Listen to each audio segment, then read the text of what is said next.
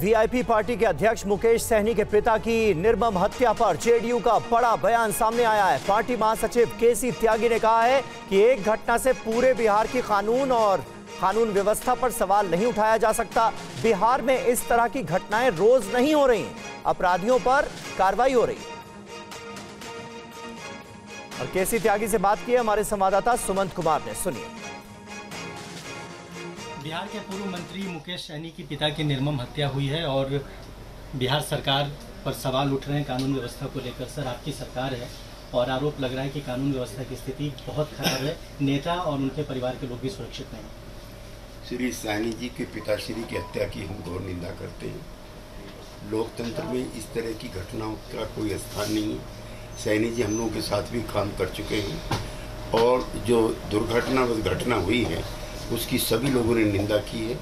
SIT का गठन हो चुका है और जो भी कल्प्रिट है, वो पकड़े जाएँगे। ये लालू युग नहीं है। जब हत्याएँ करके नरसस हत्याकांड को अंजाम देने के बाद भी अभियुक्त फिरे घूमते थे, एक घटना ऐसी नहीं है कि जिसमें कल्प्रिट ना पकड़े गए हों। उस समय तो अदालतों में गवाही देना भी, अपनी जान को जोखिम में डालना था। अब गवाही भी होती है और एक लाख से ज़्यादा लोग को जेल भेजा जा चुका है। सरकार के द्वारा जो अपराधी घटनाओं में संलग्न रहे हैं फिर भी ये बहुत दुर्भाग्यपूर्ण घटना। तो आम लोगों को क्या भरोसा दिलाएँगे आप? आम लोग कितने सुरक्षित हैं? जब नेता के परिजन ही सुरक्षित नहीं है तो आम लोग किस मुश्किल हालात से घटना हुई है उसकी निंदा कर चुके हैं लेकिन एक आइसोलेटेड घटना को पूरे बिहार का लैंड और खराब हो गया है उससे आप इक्वेट नहीं कर सकते।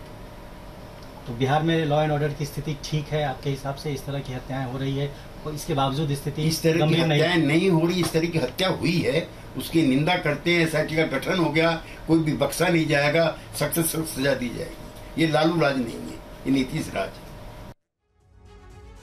टीवी नाइन संवाददाता रजनीश की ये बातचीत, केसी त्यागी के साथ आपने देखी। इधर सहनी हत्याकांड मामले में बोले दरभंगा के डीआईजी बाबूराम हमें कई सुराग मिले हैं, बहुत जल्द हम खुलासा करेंगे। जल्द अपराधी गिरफ़्तार होंगे।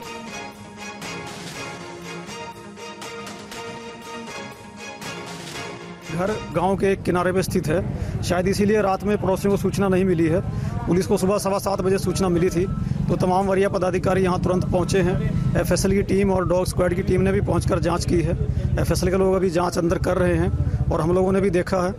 कई महत्वपूर्ण सुराग हम लोगों को मिले हैं। हम लोग उद्भेदन के बहुत ही नज़दीक हैं और पूरी कोशिश है कि आज ही घटना का हम लोग उद्भेदन कर दें और अपराधियों की गिरफ्तारी सुनिश्चित की जाएगी। बहुत जल्दी आप लोगों को और विस्तृत जानकारी भी दी जाएगी।